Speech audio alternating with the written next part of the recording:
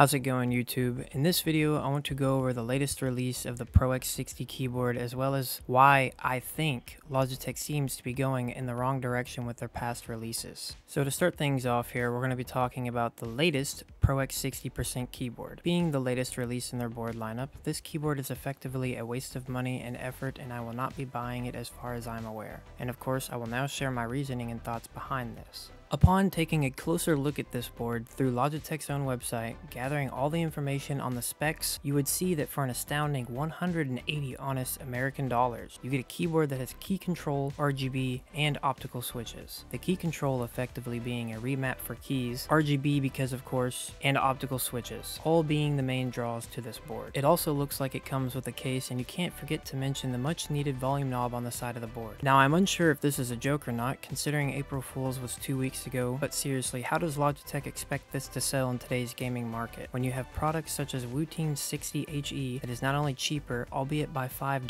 that has features like Hall effect switches to gain a great deal of an advantage over regular mechanical or even optical switches seen on this board. SteelSeries has the Apex Pro with their own Hall effect switches. Razer has their own Hall effect analog switch keyboards as well, and then you can dive a little deeper into the custom keyboard hobby, and many of those companies such as KBD Fans and Akko have started to release their own Hall effect boards as well, at or under the cost of what Logitech is charging for with this board. Now I also know that there are many orgs in esports that are sponsored by Logitech and that will possibly even be using this keyboard, but at such a high level, I seriously doubt any player in a professional scene would willingly trade the benefits of having a Hall effect board over this thing. I would like to believe that people with wrinkles in their brain ponder at any of the other options before deciding that this is the board they want, which of course makes considering the worst Hall effect gaming keyboard keyboard an obvious choice, and this new Logitech G Pro X60 keyboard irrelevant. Also want to mention that not anywhere on their website have I found anything that says that this board is even hot swappable, let alone mod friendly. This could make it much worse value when you have to live with the fact that you are stuck with what is provided by Logitech. If this board is really interesting to you, you can go out and get the board yourself and give it a shot for your own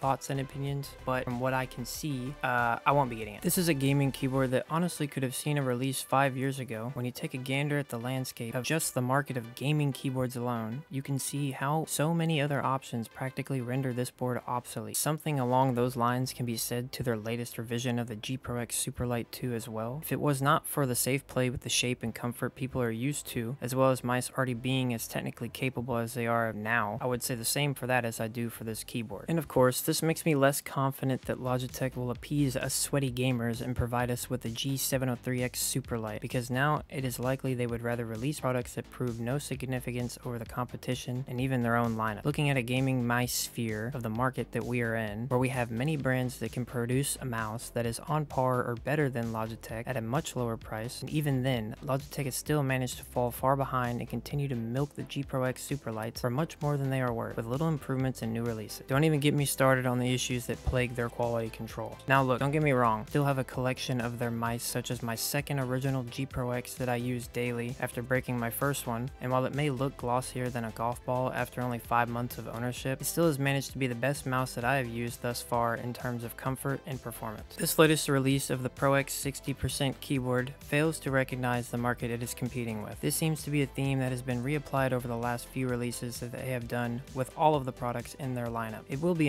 interesting to see what comes next, whether that is good or bad. But for now, I don't think I'll be looking forward to much from Logitech. But who knows, maybe they decide to wake up and realize that they are very deep in their hole, or maybe it is just wishful thinking at this point. As always, thank you for watching this shitpost rant. Be sure to like and subscribe so you can stay up to date on my latest endeavors. Anyway, see you in the next one.